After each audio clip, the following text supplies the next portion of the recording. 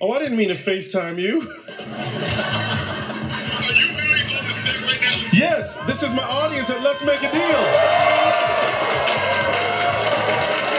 Yeah, uh, I FaceTimed you in, in my pocket. I'm sorry. Uh, I'm gotta go because these people are waiting on me. All right, bye. It is Fabulous Car Friday.